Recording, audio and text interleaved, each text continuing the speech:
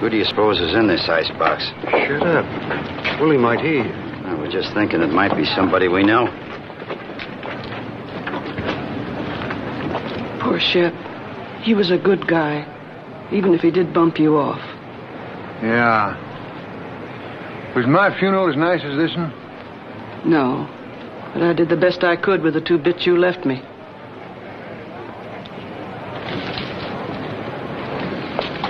How much did the casket cost you, Willie?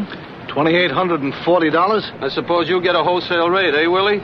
Ain't nothing sacred to you reporters. Hello, Willie. Hello, Charles. The district attorney wants to see you and your boys again. Now, why does he have to disturb me in my grief? Well, he figured you were about all cried out by now. Well, tell him we'll be down as soon as we can pull ourselves together. You mind if I go along with you? You know, I'm just nuts about parades.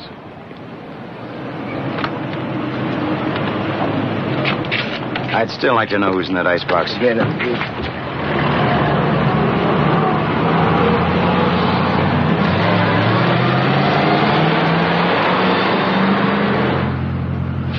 Hey, you jerk. The funeral went that way.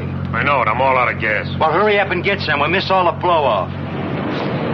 First day I'm grown up, I'm gonna go pulling on a pretty woolly guy. Don't take it so hard. He was no good anyway.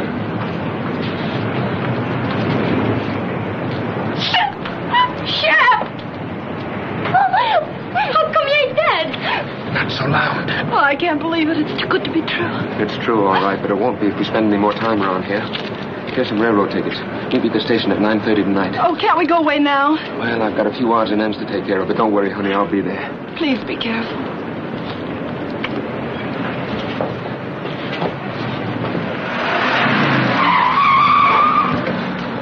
Listen, fella, why don't you try and be a little more.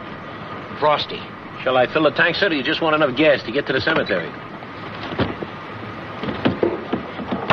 Shep, what are you doing in town? You promised to stay out of sight. If Pretty Willie finds out we didn't knock you off, there'll be nothing phony about our funerals. Yeah, Pretty Willie'd be mad, all right, wouldn't he? But if you boys will cooperate with me, it won't make any difference how mad he gets. Oh, now look, Shep, we done you a favor once. Why don't you just go away and leave us alone? Well, I figure one good turn deserves another. What do you mean by that? I mean, I want you boys to do me another good turn.